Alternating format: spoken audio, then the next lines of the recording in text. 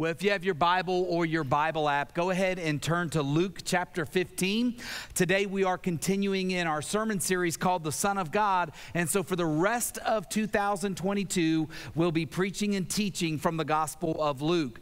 Now, if you don't have a Bible with you today, there's a Bible under the seat in front of you. If you reach out and grab that Bible, you can use that uh, tonight during the message, and you'll find Luke chapter 15 on page 1039.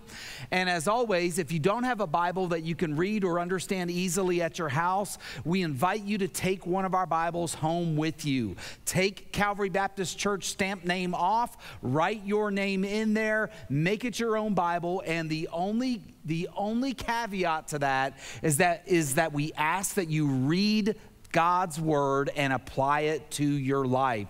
We are firm believers that if we want change, if we want to experience a relationship with God, that if we read and apply his word, he will transform us. Uh, today, we're looking at the passage of scripture that many people have heard about, whether you grew up in the church or not. It's a passage of scripture that many people in our uh, the culture of America is familiar with.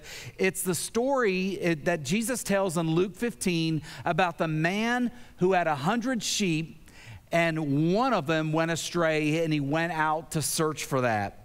Now, I don't know about you as a child, but I know that I grew up living in the woods in Middle Tennessee. I did not have a cell phone with GPS that could tell me how to find my way back home. But as a child, I would go out into the woods and we would play half the day in the woods. And sometimes we would get turned around. Sometimes we wouldn't know exactly where we were. And we would just wander around until we saw something familiar and we would make our way home. Uh, back in 1984, my family was camping out over one summer at a, a, a, a state park in Tennessee. And one day I was out there, we were swimming in the lake all day long. It got dark. I didn't go when I should have with my brothers and sisters. And so as it's getting dark, I get out of the lake and I'm looking around and nothing looked familiar. There were camper lights and there were campfires and there were lanterns and there were flashlights. And I was not used to seeing the park from where I was that late at night in the dark. Nothing made sense to me. And so I start to panic a little bit and I'm wandering around. I'm going to campsite to campsite trying to find my way back home and I start to sniffle a little bit because I'm worried that my parents packed up and left without me. You know, I'm getting, nobody even knows I'm gone. No one cares. There's no search parties out, right? And I'm, I'm, I'm worried that I'm never going to make my way back to the campsite. Then finally, a, a, park ranger or a person that worked at the park saw me crying, took me and said, Okay, where, what's your name? Found where I was supposed to be, and that was that. Now, I knew I was in the campground. I knew I was near the lake. I knew I was along a road, but I had no clue how to get back to my family. Now, I want to ask you if you would help me out by, by a show of hands. Raise your hand if you have ever been lost before in your life. Thank you. Raise your hand if you were lost when you were a child and you know that feeling of anxiety and fear. Okay, now raise your hand if you would like for one of your family to get lost for a little bit. You know, whether it's whether it's driving in, in, unfamiliar territory, whether it's in a grocery store as a child and, and your mom abandons you or you you abandon your parents and you're gone, that feeling of being lost is a very heavy feeling when you know you're not where you are to be when you, as a child, you're looking for reassurance from your parents' faces, that's where you get that sense of confidence that you're doing something right. And when you're lost, you're not able to see your parents' face and you're having to make decisions all on your own. what I want you to do is I, I want you to remember that feeling of being lost as we look at this passage of scripture and we see how God interacts with mankind. So let's read together page 1039. Now, I will be reading from the New Living Translation today. So if you follow along in one of our Bibles among you, one of our Bibles that are under the seats, you may not be able to follow along word for word. That's okay. Luke 15, 1 through 7. Tax collectors and other notorious sinners often came to listen to Jesus teach. This made the Pharisees and teachers of religious law complain that he was associating with such sinful people, even eating with them. So Jesus told them the story. If a man has a hundred sheep and one of them gets lost, what will he do? Won't he leave the 99 others in the wilderness and go to search for the one that is lost until he finds it? And when he has found it, he will joyfully carry it home on his shoulders. And when he arrives, he will call together his friends and neighbors, saying, Rejoice with me, because I have found my lost sheep. In the same way, there is more joy in heaven over one lost sinner who repents and returns to God than over 99 others who are righteous and haven't strayed away. Now, it's important that as we read this passage, we all understand why Jesus told this story. Jesus wasn't just telling the story to make people feel good or find something amazing about God in this passage. Look at verses 1 through 3.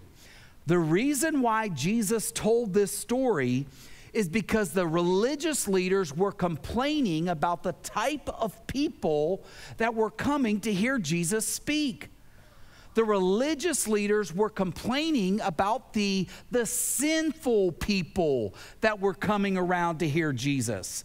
I mean, the word notorious sinners suggests to us, or that phrase suggests to us, that these people were flamboyant with their sin. Uh, that these people that they were talking about, they were cheaters, they were liars, uh, they were prostitutes, they were sexually immoral, and those were the type of people that were coming to hear Jesus speak. So the religious leaders, they get upset and they start complaining to Jesus about the type of people that are there. Now, I know that that most of us would never complain about any type of person that, that comes to our worship gathering to hear God's word. But I will tell you that in American culture, that's not always the case. Uh, unfortunately, it's often the case that people who are considered to be notorious sinners feel unwelcomed inside the church. They, they feel judged when they come inside the church. So maybe you can relate to that sense a little bit. Maybe that was you in your younger days.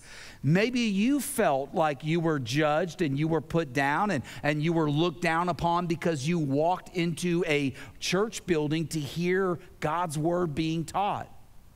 See, that, that breaks the heart of God that people who claim to know God personally that people who claim to be examples of what people should look like would cast other people out. See, the Pharisees chose to complain and focus on the faults of the people around them, and that's because religious people focus on faults, not forgiveness. Religious people focus on faults, not forgiveness.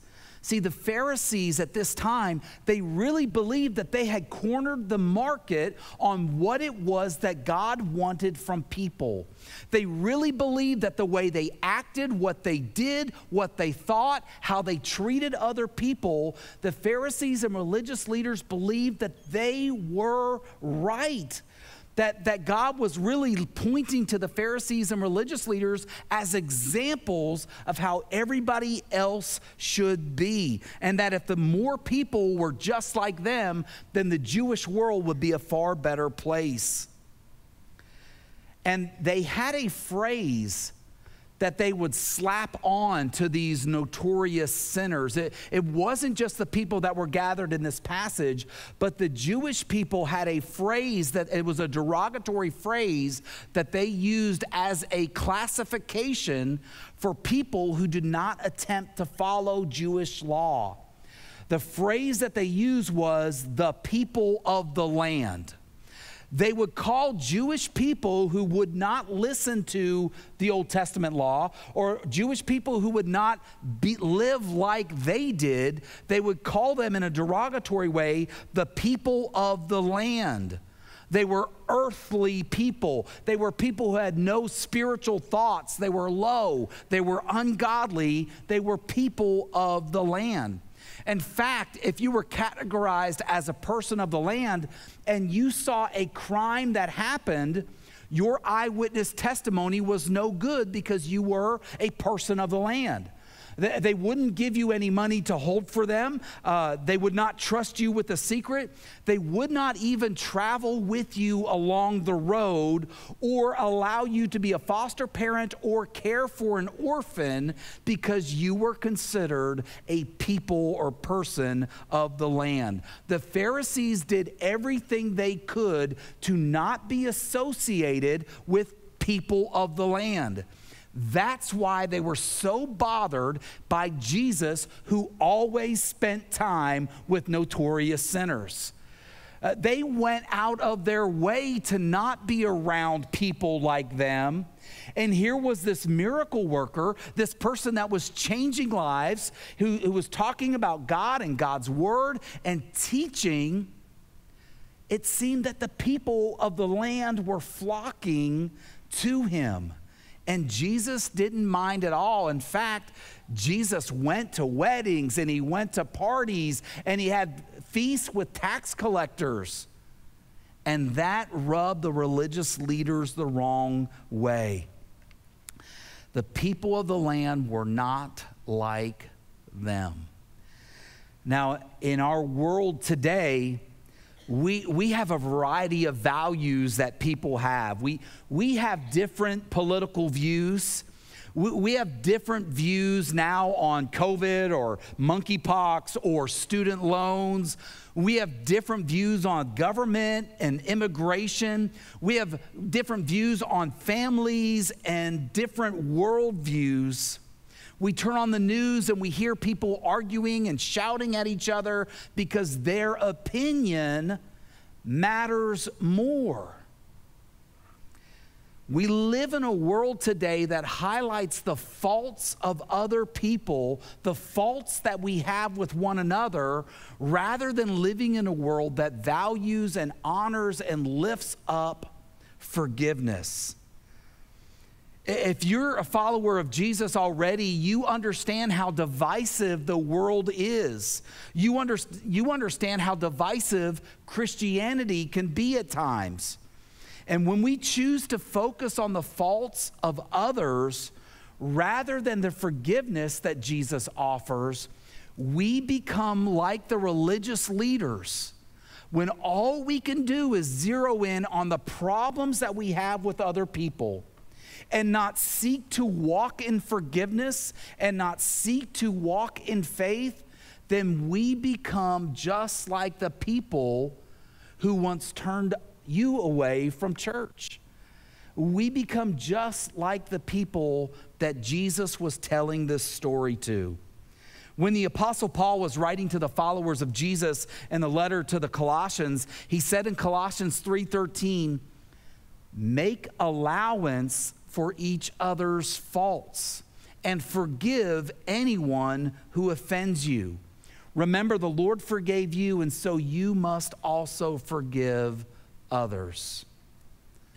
See, what God calls us to do as a follower of Jesus, so we're not chasing away people and we're not turning others out, is to walk in a spirit of forgiveness And I can tell you that is difficult because there are sometimes people who hurt us that we love, that we respect, that we admire, and it makes it truly difficult to walk in forgiveness, but the call to forgive remains unchanged. It doesn't matter if it's hard for us or not. God's word says to forgive and make allowance for one another's faults. And we have to remember the one simple truth that Jesus is teaching us here is that all people belong to God but wander. All people belong to God but wander. See, if you can remember that, you're going to be able to walk in a spirit of forgiveness a little bit more easily. Now, I'm not saying that all people are followers of Jesus. I'm not saying that all people have been forgiven for their sins and they've surrendered their lives. I'm saying all people do belong to God. That means the stubborn people that you know, the stubborn people you have a difficult time with, they belong to God. The people around you that live in fear and anxiety, they belong to God. The lonely people around you belong to God. The white ones, the black ones, the brown ones, the conservative ones, the liberal ones, they all belong to God. The people you agree with and the people you avoid. Every single person in this room, every 7 billion all 7 billion people on the planet. Every person who has ever lived and every person who will ever live belongs to God. We are all His property. And so, if we all belong to God, why on earth is this world such a mess? If we all belong to God, why is it that every day on, on in every territory, in every city, there's a child being abused? Why is it that some marriages end in divorce and bitterness? If we all belong to God, why is there cancer? If we all belong to God, why are there childhood diseases? Why is there sickness? Why is there death? Why do we struggle with loneliness and isolation and hurt feelings and pride and sadness? Why do we have division in politics? Why do we have division in churches? Why is there division inside families? If we all belong to God, why is the world messed up? Well, the answer is simple and it's found in this story. It's because we all belong to God, but we all wander.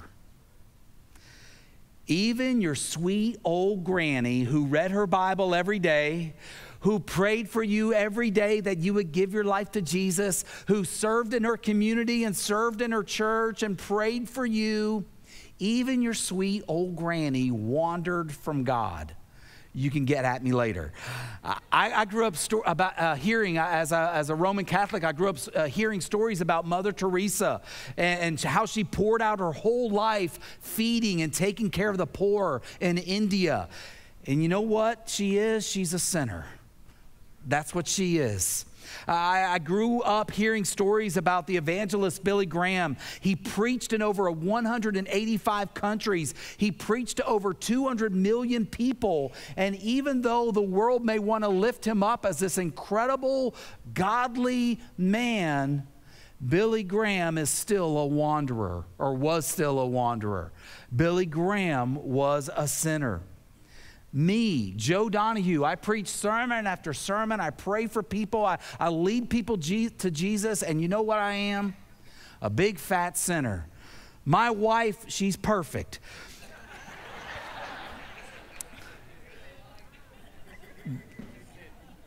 God used a word for what it looked like for sheep to wander. In Isaiah 53 6, he actually called you and I sheep Isaiah 53 6 says, All of us, like sheep, have strayed away. We have left God's paths to follow our own.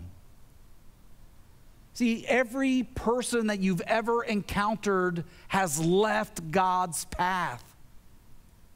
Every person that's in this room has left God's path. What repentance is and what it means when you surrender your life to Jesus is you just get back on God's path. You just simply go back in the direction that He created you to go. I, gave my life to Jesus in 1991, and as much as I would love to say from that point on, I never wandered from God's path, I would love to be able to say that, but that's not true. I have sinned since 1991. Don't play this video for my mom. I have sinned. I did not stop sinning when I gave my life to Jesus. I, I still struggle in my thought life. I still struggle with the things that uh, I say. I, I sometimes say the right thing in the wrong way. And I'm not going to go through a list of all my personal sin. But sometimes I struggle to not say the things I want to say, and I often fail to say the things that the Spirit is leading me to say.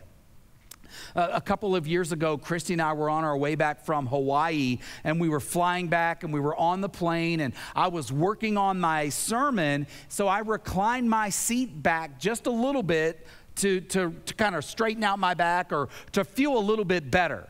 And you know, there's something amazing about that half inch that airline seats recline that you're just like, whoa, I'm really far back right now.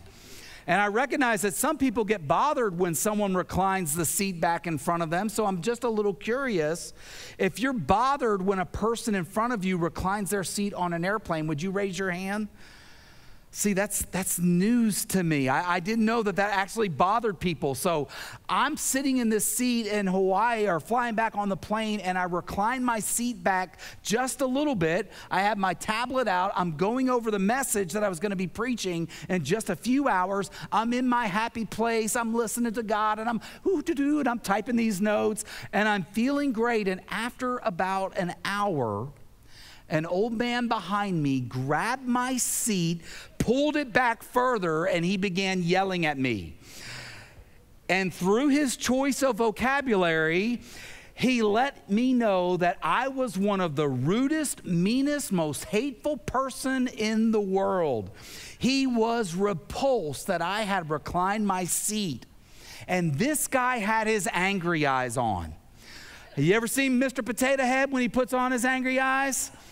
I mean, this guy, he was bald. He had on his angry eyes. He was letting me have it. And as he let me have it and the spittle landed on my face, I just kept thinking, man, he has his angry potato head eyes on. Now, what I wanted to say to him was actually different than what I said to him. What I wanted to say to him was a totally different thing. I won't tell you what I wanted to say to him. But I will tell you what I did say. Here's what I said when he finished I said, I am so sorry. I wish you would have said something earlier. My wife and I will raise our seats and we won't recline back any further. Now, I could tell that he was not expecting me to be kind. It caught him off guard. He was still angry. He yelled another 10 seconds or so, and it felt like an eternity on the plane because I'm sitting down and he's standing up and he's yelling at me. And then he pointed at the words on my tablet that I was typing, and he said this, and you're reading that Christian crap. I'm thinking, well, it's my sermon. It probably is a little crappy. I could probably probably work on it a little bit, but I didn't reply. Christy and I raised our seats up and we kept our backs in that square 90 degree hold for the next four hours. We said nothing to him at all. When the plane landed, it touched down, we got up to leave. I stood up, and a very quiet voice, the old man said to me, Sir, I'm sorry for oh, the way I spoke to you. I didn't have to speak that way to you, and I'm sorry. I stuck out my hand. I said, Don't worry about it. I forgive you. It's not a problem. But what I wanted to say is, now, I'm not perfect. I struggled in that moment with what I really wanted to say against what I needed to say. I've not stopped sinning since I gave my life to Jesus, but I am forgiven. My life has been changed. I, I, I, do good works now. I tell others about Jesus. I do strive to sin less, but the reality is, I still sin. And if, as a follower of Jesus, you were being honest, you would acknowledge that you still sin as well, that we all wander from God's path from time to time. Even if we consistently spend time in the morning pouring out our heart to God, reading His Word, we still find that during the day our hearts wander away from Him. There's truth to that old hymn that says, Prone to wander, Lord, I feel it. It's because we do. We are sheep who are always wandering and drifting away from God. And if followers of Jesus wander and drift away from God, is it any surprise that the world is in such a mess? If we who have been changed by Jesus wander away from God, is it any wonder that people who are without Jesus wander away? And sometimes the church stops following Jesus and we stop searching for the lost and we focus on what it's like to be a sheep. We just want to be taken care of. We want to be pet. We want to be groomed. We want to be fed instead of taking the responsibility to be like the shepherd in this passage of Scripture. See, the church, what we're called to do is go out in search of the lost. We're called to try to find those people without Jesus and bring them into a right relationship with Him. That's why the mission of our church is to lead people to a life changing relationship with Jesus. It's not to feel good after a message, it's not to, to come in and worship. Our mission is to lead people to Jesus. And sometimes the church just forgets that. Sometimes the church forgets it's not about our luxury and our comfort we stop searching for the lost. So I want to encourage you join the search party and celebrate forgiveness. Join the search party and celebrate forgiveness. Look, look in that passage of scripture. Uh, there's, they're joyfully, the shepherd goes out, and when he finds his sheep, he joyfully places it on his shoulders. He rejoices. He calls the neighbors together and he says, Hey, rejoice with me because this one that was lost is now found. And what Jesus says, what happens when somebody gives their life to Christ, somebody receives forgiveness of their sins, someone who has wandered gets back on God's path. Jesus says, said, There is more joy in heaven over one sinner that repents. Don't you want to be part of a joyful search party? Uh, don't you want to be part of, of looking for people who are lost? That doesn't mean that you go out and condemn the world for their sin. Because as we wander, we sometimes get it wrong. What happens when we start pointing out the sins of other people? As we fall back into that category like the religious leaders. See, we don't shame people into becoming a follower of Jesus. On that plane ride home, I could have jumped up and lectured that man on rudeness. Sir, you've been rude to me. You've hurt my feelings.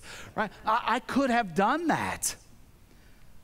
But we have to understand, as followers of Jesus, it is not our role to convict the world of sin. It is our role to love people. It's our role and responsibility to love God with all our heart, soul, mind, and strength, and to love our neighbor as ourselves. And it's the Holy Spirit's responsibility to bring conviction over sin. That's what the Holy Spirit does. That's not what Joe Donahue does. That's what the Spirit of God does. Jesus said in John 16, verse 7, and when He comes, speaking of the Holy Spirit, He will convict the world of its sin and of God's righteousness and of the coming judgment. The Holy Spirit's role is to convict the world of sin. That's not your job. Your job is to love people unconditionally. Your job is to celebrate when they give their lives to Jesus. Your job is to live out your faith and join the search party. And how do you join the search party? You get involved. Get involved in the life of the church. Get involved in student ministry or children's ministry or first impressions. Get involved in our worship team. Get involved with a group of people that go down to the, the channel and talk to others about Jesus. Get involved with a homeless ministry or food ministry. Get involved with a food pantry. See, it's, it's our role to love our neighbor as ourselves, and we do that as we serve. And as we serve, we're joining in the search party. That means we get to celebrate together when people experience that life changing relationship with Jesus. We build relationships with those who have never received forgiveness for their sins. We laugh with them, we cry with them, we hang out with them so that we can love them to Jesus not convict them of their sin. So uh, let me encourage you get involved in an area of ministry. Grab that next step card that's located in front of you, fill it out, get involved, and experience true joy and celebration as you begin to see through your love God leading people to Him. Let's pray together. Lord, we love you and we thank you so much for this passage of scripture. We, we thank you that for those of us in here who have surrendered our lives to Jesus and got back on the path, thank you. Thank you for searching for us and thank you for drawing us to you. Thank you for giving us life and hope and purpose. And thank you for forgiving us of our sins. And now, God, it's our prayer that we would all join you in the search party, that we would all live out our lives of loving you with all our heart, soul, mind, and strength, and do everything we can to love our neighbor as ourselves and treat others the way we want to be treated. Father, we continue to love you, we continue to thank you, and now, God, we stand to worship you. In Jesus' name, amen.